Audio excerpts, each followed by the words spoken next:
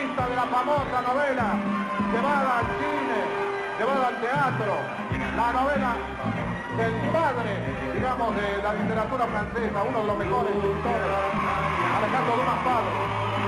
Árbitro de esta lucha, el profesor Eduardo David. Adelante, Guillermo. Entra con violencia. A la tregua.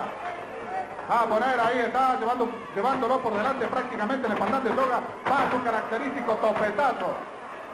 Con ese abdomen voluminoso, prácticamente tremendo para el castigo. Ahí está, llevándolo. Sobre lona lo tiene D'Artagnan. Entra el aldeano para castigar ahora. Vamos a ver si lo hace. Sí. No, entra D'Artagnan. La patada Sabá. El clásico y típico patada que aplican en la lucha Sabat los franceses. Sabat precisamente por un luchador francés, Sabat, que se defendía y atacaba y vencía así, aplicando esta forma de combatir.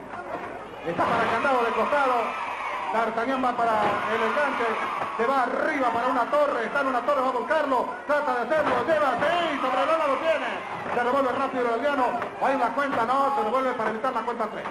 No se ¿eh? Centro del ring por parte de D'Artagnan. Vamos D'Artagnan, vamos D'Artagnan, para el enganche. Una llave de brazo para afuera, presionando, trata de hacer martillo, no, lo tiene el martillo el aldeano para castigar, golpe violento de antebrazo, lo tiene para castigar con violencia. Hay diferencia de físico, por supuesto, pero en esto, en este tipo de lucha no hay problema. El copetazo sí, tremendo. Un hombre más chico puede doblegar con técnica y con capacidad a un hombre más voluminoso.